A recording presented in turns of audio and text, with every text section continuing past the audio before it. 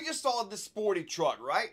We saw that um, Exo.US chassis, really nice vehicle, just really needs overdrive, right? This time, I've got another Exo.US chassis, except this one is set up as an MOA. Now I've got the RC8X set up on this, so I have control of all my over, under, all that stuff like that. So I'm gonna show this to you on the table and take this out for a drive. Let's do it. The first thing to look at is this thing is gorgeous. I mean, he's got all the nice stuff on here. Everything is grommeted. I mean, beautiful DravTech shocks. I mean, this thing is nice. Deluxe Fab axles. I believe these are, the same ones that I run on mine. I mean, everything here is just set up nice. He, he has his clock back a lot. Got a shift servo. Got that raised up. I like that setup right there. I do. Um, now this one right here runs, I'm not sure, maybe it's the Holmes ESCs. I know it's got Holmes motors in it. Uh, 1800 kV Holmes. Let's see here, we got 1800 kV V3 snub nose. So that's what we got for motors and all that. So as a quick comparison, I'm um, I'm gonna put mine up here. On the front, you can see mine. I've got some carbon pieces on my front gearbox, as are his are aluminum. Like I say, I like that that servo is up like that. I really do, but I don't have as much, I don't have these clocked as much as what he does.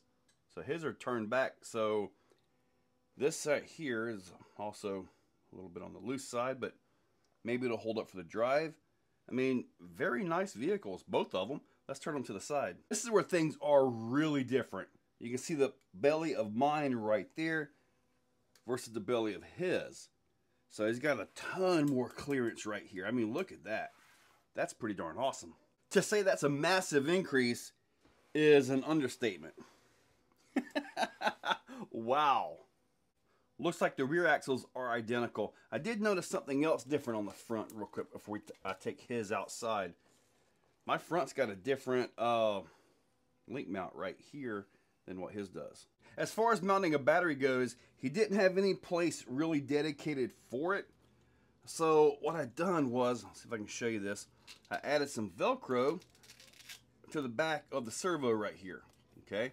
So just simply drop the battery down into here and Velcro it in place. It clears on this and all that, so.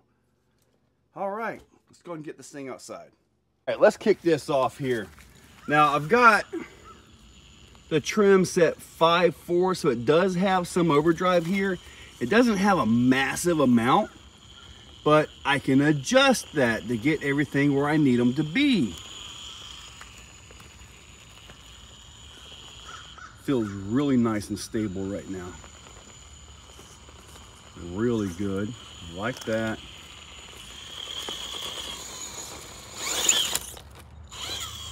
All right, let's take it right on around and we're gonna try to bring it up Crowley. If you notice, the battery's in the back. My little spot up front was rubbing the motor a little bit too much. But let's see if we can stick this right here. It should. Yeah, looking good. Looking good. Now I can also do dig and all that stuff with this thing as well. All right, look at this right here. the skid never even touched. That was awesome. I don't think anything's even gonna touch on Hopper. But there's only one way to find out. Nope. it all cleared. This right here should be super easy. We're also gonna drive up it as well. Let's see here. Yeah, look at that. That thing is hooked so hard, the backs of the tires aren't even at the edge. I want to try something. I think I've done this with mine before. I want to try to go straight up. All right, so there we are right there. We're going to go into front drive. Get that front to make that pull right there. Now we're going to go back into drive.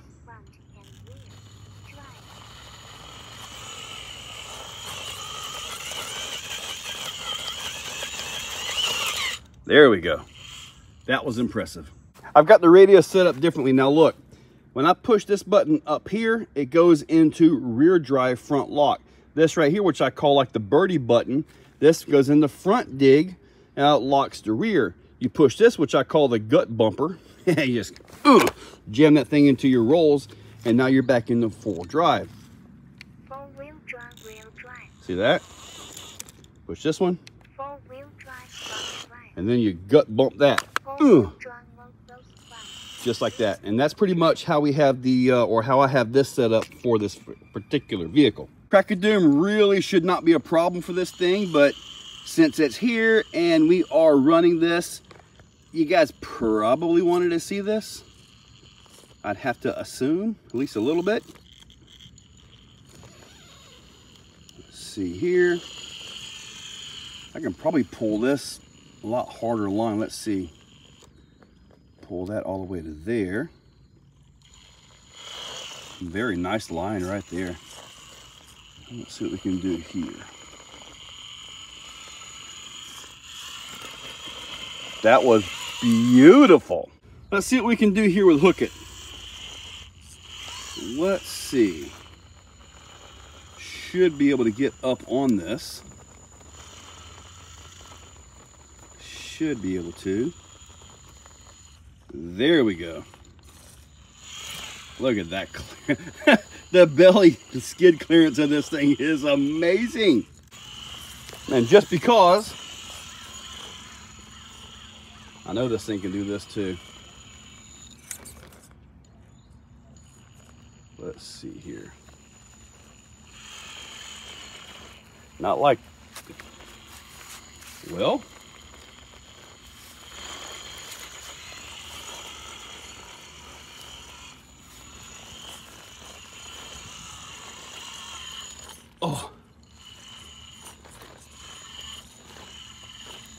Come on, baby. Settle down.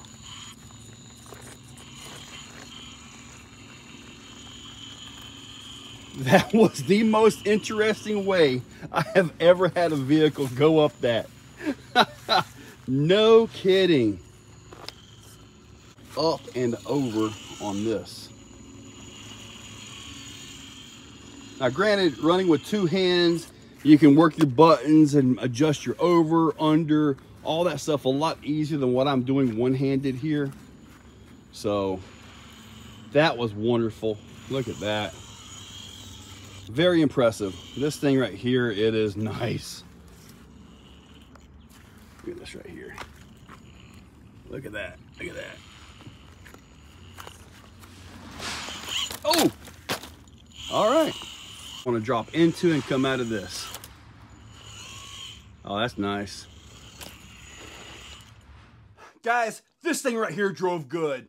Real happy with it. Um, this is my first time driving a MOA with like the revolver style motors and all that, but as mine has the Fusion Pros. But this thing right here did great, man. Really happy with how it went in, out. This breakover is amazing. I mean, really good. Now, now that you've seen that one, there's one more that I've got to do. You ready for this? This is a super. This is my first time ever messing with a super. Yes, the tires are this big. Yes, they are. So this right here is definitely going to be a challenge. I've already got the radio set up for it. It's four-wheel steering and uh, dig, all that. The way the four-wheel steering works on this, unfortunately, I think I'm going to have to use both hands to drive. So video might be a little bit different, but this is coming up soon. I, I got to get this thing outside. But this right here, oh, this right here is all. This right here is also a Exo.US chassis. I like their chassis, I really do. So, yeah, guys, hope you enjoyed the video. Uh, stay tuned because something I've never messed with before. you guys have a great day and thank you, Keone. If you're still watching, you are top shelf. You are the cream of the crop, the pick of the litter. You are phenomenal. Thank you for watching to the end of the video. It means a lot to me. Now, down below, there are links for the products you see, also for channel memberships if you guys want to be a part. Channel members get early viewing on pretty much everything that I can. So Guys, check that description. There's a lot of info down there.